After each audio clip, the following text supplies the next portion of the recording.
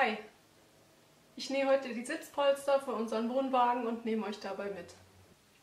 Hinter mir schon alles gerichtet, da liegen 8,5 Meter Stoff und äh, mein Plan, nachdem ich das zuschneide, ich werde das mit einem weichen Bleistift alles anzeichnen.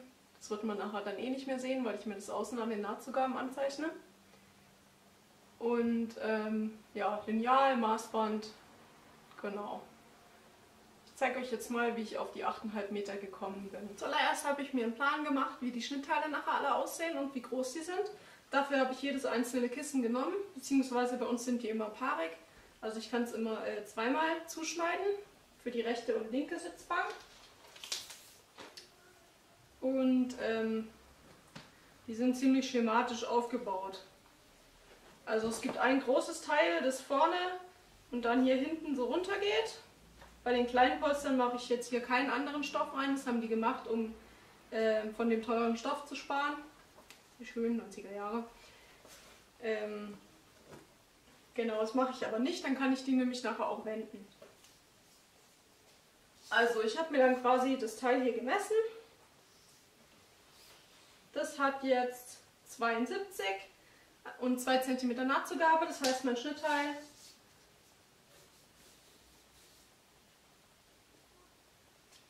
ist äh, 74 auf, das sind jetzt 70 cm plus 2 cm Nahtzugabe, gibt 72. So groß ist das große Schnittteil vom ganz kleinen Polster. Und dann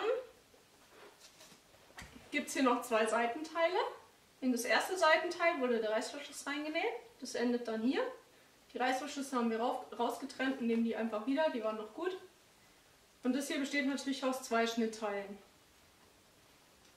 Da habe ich mir dann auch einfach die Länge gemessen, wieder Nahtzugabe dazu gemacht und die Breite mit den Nahtzugaben und habe mir dann so quasi ein Schema erarbeitet, ähm, dass ich nachher alles hier drauf zeichnen kann. Genau, und das andere Teil ist halt nur eins. Also die hier gibt es quasi viermal, weil es zwei Polster sind und das Schnittteil ist identisch, rechts und links vom Reißverschluss. Und so sieht es jetzt halt bei mir aus. Da sind alle einzelnen Schnittteile drauf mit der Größe und wie oft ich die brauche. Und dann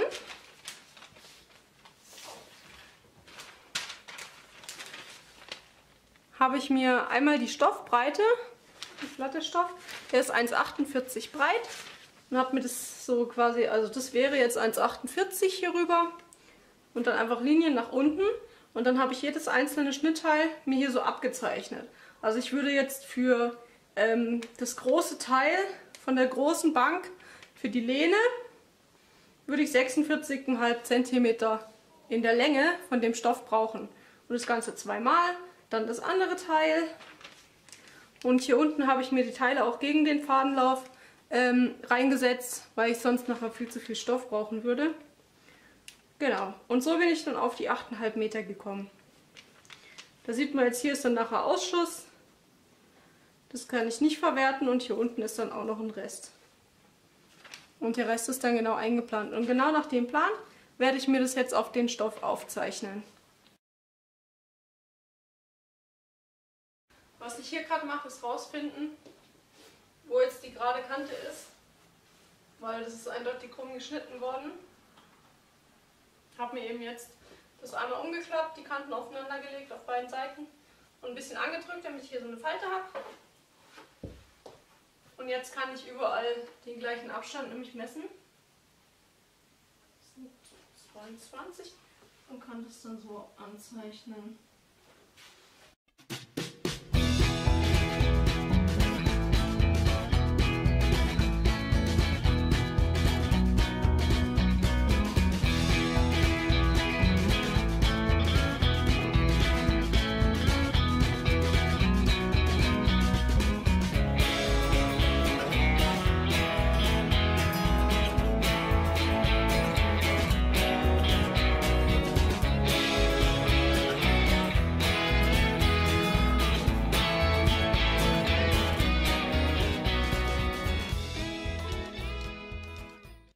Sieht's aus. Ich habe das jetzt in einzelnen Häufen sortiert, also jeder Haufen ist nachher, gibt nachher den Bezug für ein Polster.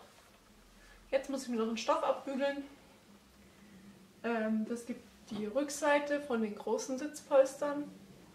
Das mache ich jetzt aus einem Stoff, den ich schon habe, um Stoff zu sparen, eben von dem gekauften. Weil mit dem hier weiß ich eh nichts anzufangen. Aus den beiden Stoffen hier schneide ich jetzt die ähm, Rückteile raus. Hier hinter mir, dass die hinten eben beige sind, um Material zu sparen.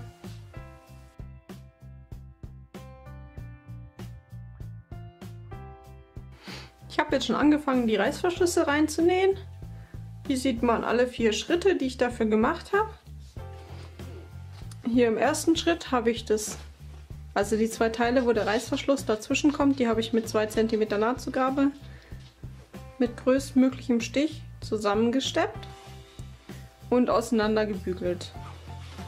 So gut es ging, weil der Stoff verträgt die Hitze nicht so gut, der zieht sich dann zusammen. Dann habe ich den Reißverschluss hinten dran gesteckt. Und zwar macht ihr dafür erst eine Seite. Also ihr seht, ich habe die Nadeln immer gegengleich gesteckt. So kann ich nämlich mit der Nähmaschine jetzt schön hier so lang nähen und kann die Nadeln immer schön in meine Richtung rausziehen und hier nähe ich dann so lang. Und hier könnt ihr nämlich genau fühlen, wo dann die Raupe vom Reißverschluss ist, indem ihr rechts und links den Finger hinmacht und dann muss die Naht genau auf der Mitte drauf sein.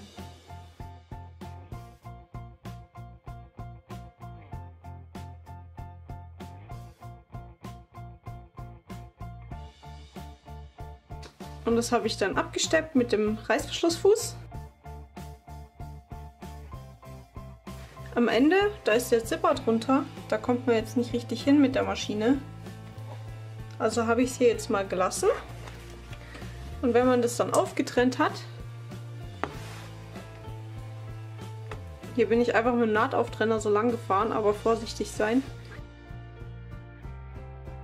Dann kann man nämlich hier oben den Reißschluss aufmachen, und dann kann man hier noch absteppen. Bei meinen Sitzpolstern muss ich jetzt noch die langen Teile, die ähm, an den schmalen Seiten ringsrum gehen, also fast ringsrum. Hier habe ich das große Teil nämlich so gemacht, dass es hier komplett einmal so rumgeht, über die Flächen. Und die langen Teile gehen jetzt eben einmal hier so lang.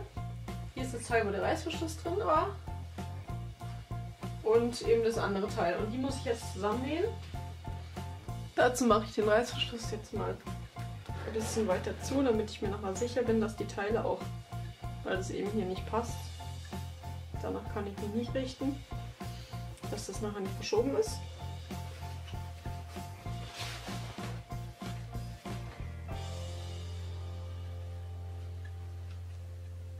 Und stecke mir das aufeinander.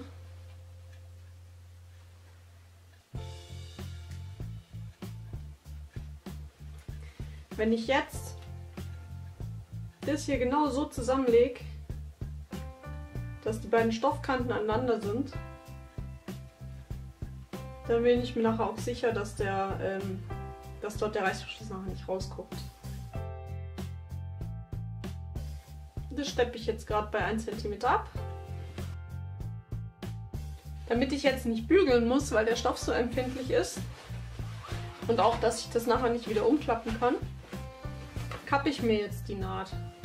Also ich lege die ganze Nahtzugabe in die Richtung, weil der Reißverschluss lässt sich schlecht in die andere Richtung biegen. Und steppe jetzt hier einmal ab und halte es dabei schön unter Zug, dann ist es quasi wie gebügelt.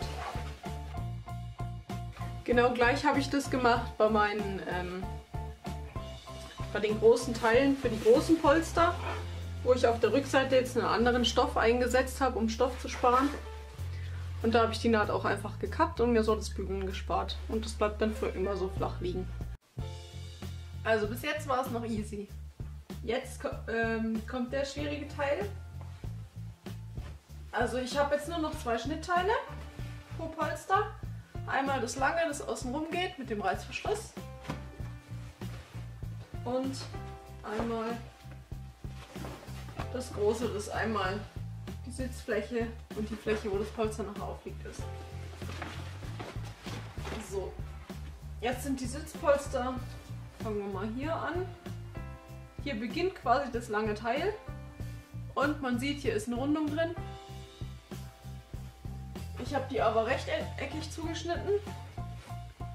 Also die erste Möglichkeit, die ich mir überlegt habe, wäre gewesen, ich mache einen Schnitt dafür. Hatte ich aber keine Lust zu. Ähm, jetzt die nächste Möglichkeit, das zu lösen, wäre, mir hier Rundungen reinzuzeichnen. Also auf einem Zentimeter Nahtzugabe.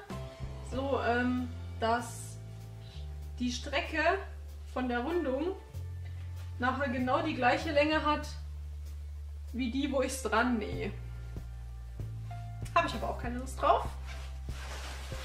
Ähm, deswegen werde ich die Teile jetzt einfach aneinander stecken und das dann in den Kurven, also es hat ja nur hier und da wo das Teil endet, hier ist es rund. Also hier verläuft es ja gerade und hier wurde eine Ecke reingenäht. Das zeige ich dann auch, wie das geht mit den Ecken. Genau.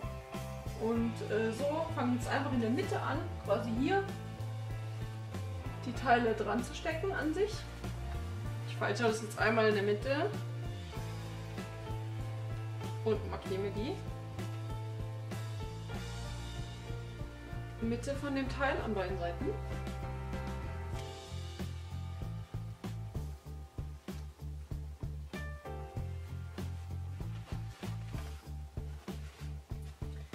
Und die Mitte von dem Teil hier.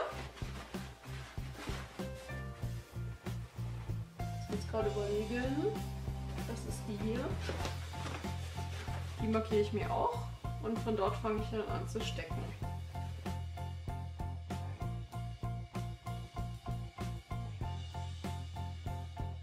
Ich stecke mir hier einmal die Mitten aufeinander und jetzt nehme ich mir die andere noch und stecke die auch aufeinander.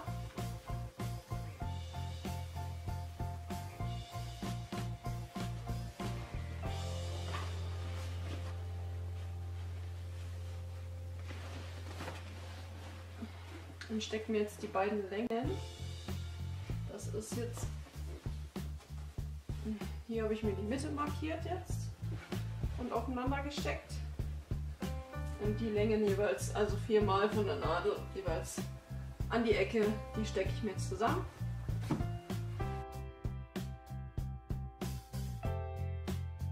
Ich nähe so, wie ich gesteckt habe. Und zwar immer von der Nadel in der Mitte bis an die Ecke. Oh, hier ist die Ecke. Ähm, genau, und dann zeige ich das gleich, wie das geht mit der Ecke, mit dem Einschneiden und weiternähen. So, ich näher mich jetzt der Ecke und ich markiere mir die jetzt. Also hier verläuft das untere Teil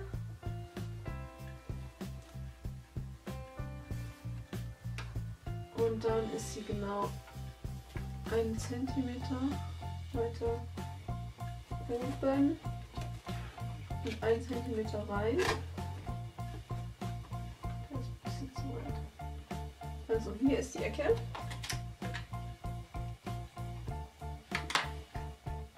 Und stellen wir dann auf einen kleineren Stich.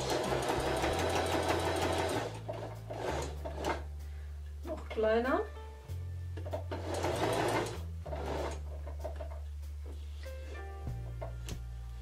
Jetzt steckt die Nadel genau in der Ecke drin. Dann mache ich mir den Fuß hoch und schneide nur diese obere Schicht, also die gerade. Hier unten ist die eckig geschnittene und die gerade Schicht hier, die schneide ich mir jetzt bis zur Nadel ein. Vorsichtig. Dann nehme ich mir das untere Teil und drehe das. Und weil ich will jetzt in die Richtung hier weiternähen und kann mir jetzt dadurch, dass das obere Teil eingeschnitten ist, ist keine Spannung mehr drauf, kann ich mir jetzt einfach so nehmen, zack, hier die Nahtzugaben wieder schön aufeinander legen, die Kanten, Fuß wieder runter und weiternähen. Immer schön kleiner Stich. Und jetzt kann man den Stich wieder größer machen.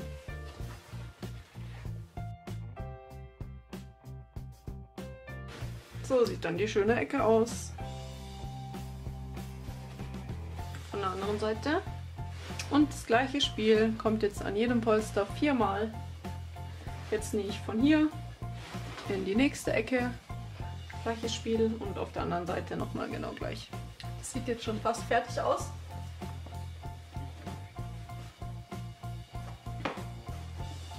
Ich habe jetzt erstmal den Reißverschluss hier ein Stück aufgemacht, sonst komme ich dann nachher nicht mehr dran. Und jetzt geht es dran, die Ecken hier, bzw. Rundungen, irgendwie zusammenzukriegen. Hier habe ich ja eine Mitte. An dem anderen Teil markiere ich sie mir jetzt mal. Und kann mir jetzt wieder die Mitten aufeinander stecken. Und jetzt versuche ich eben, so lange wie es geht, hier noch so geradeaus zu gehen.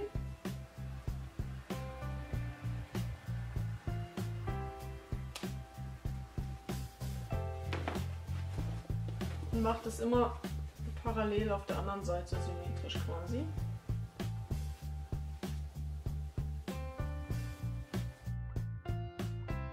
An der oberen Kante gehe ich auch noch ein Stück gerade.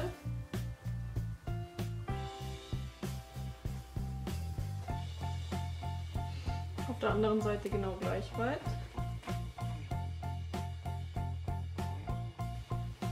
Jetzt verteile ich mir hier die Rundung so ein bisschen und stecke mir die fest.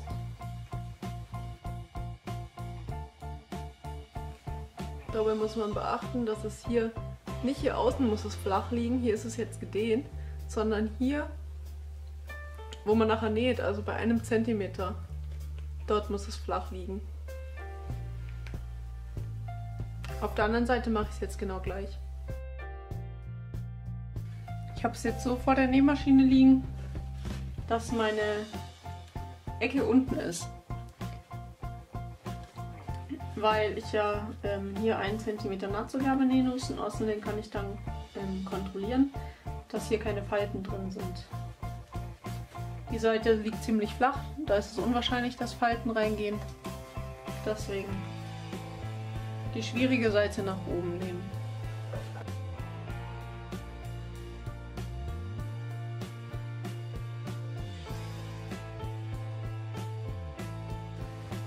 Ist recht schön geworden.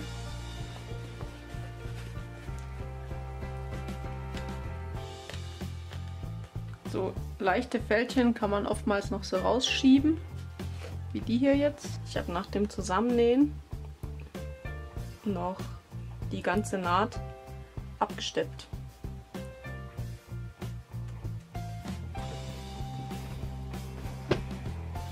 Dadurch sind die Nahtzugaben jetzt in, in das große Teil rein gekappt und die Naht beginnt immer dort, wo die Ecke genäht wurde. Und geht dann einmal rum um die Kurve und endet dann in der anderen Ecke.